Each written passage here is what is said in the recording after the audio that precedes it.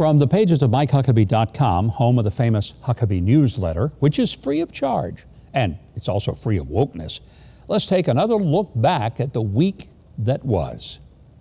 Well, in one of the more egregious examples of Trump derangement syndrome and the intolerant left this week, a high school social studies teacher and baseball coach in Michigan was fired for his outrageous belief that Donald Trump is the president, and for having the temerity to tweet that indisputable fact. Walled Lake High School gave him a choice of resigning or being fired. Now, even parents and students who oppose Trump are upset. They say Justin Kucera never brought politics into his classes, and he was an extremely popular and well liked teacher.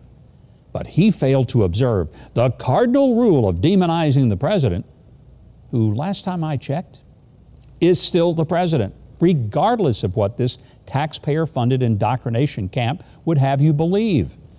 Taxpayers might be funding a nice lawsuit settlement next. And since Black Lives Matter has hijacked legitimate protest over George Floyd's death, it seems that turnabout's fair play. A pro life activist in Salt Lake City painted a Baby Lives Matter mural outside the local Planned Parenthood abortion clinic. Naturally, leftists, like a former aide to Elizabeth Warren, are claiming this somehow shows President Trump, of course had nothing to do with this, somehow that makes him a racist because co opting the phrase Black Lives Matter to oppose abortion really means white babies' lives matter.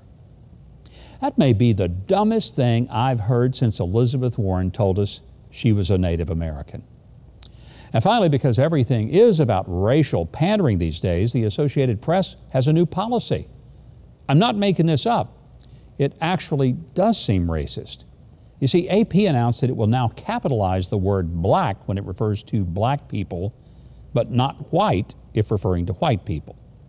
Now, not only is that bad spelling, it's actually racist against white people and black people.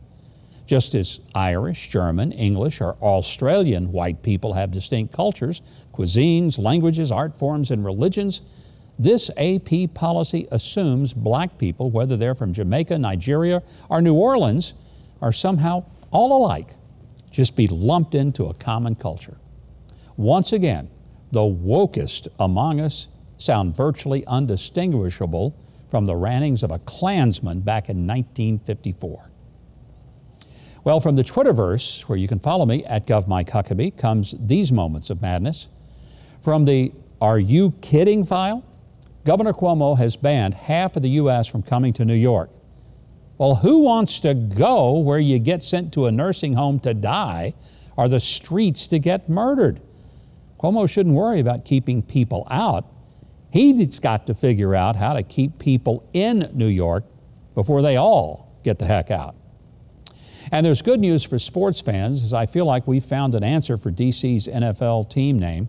The Washington Redskins should be renamed the Washington Russets. That way they can play mashed, fried, boiled, or hash brown, but mostly they'll just play baked. And we've been pointing out lately that the leftist wokesters have embraced segregation, racial condescension, judging and condemning people purely by their skin color.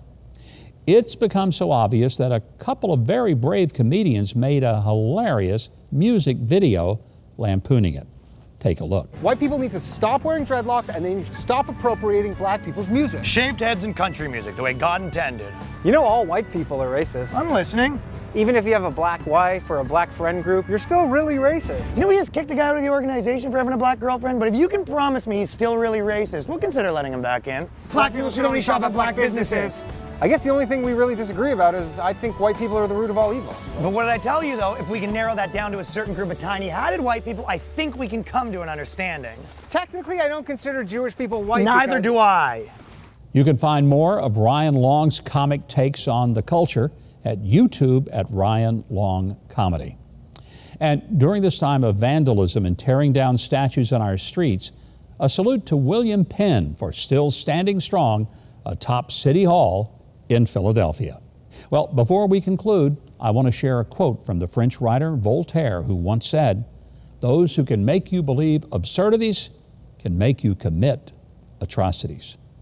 Nearly 350 years later, when you consider what's happening in our city streets and local city halls, it makes his words seem like a prophecy. May wiser times and a return to love and respect wash over the ugliness of the times. Until next time, these have been the facts of the matter. Thanks so much for watching, and I hope you enjoyed that video. If you did, be sure to leave a like, then subscribe, and hit the notification bell below. Now, if you didn't like it, you ought to find a Ben Shapiro video to detox you with more facts.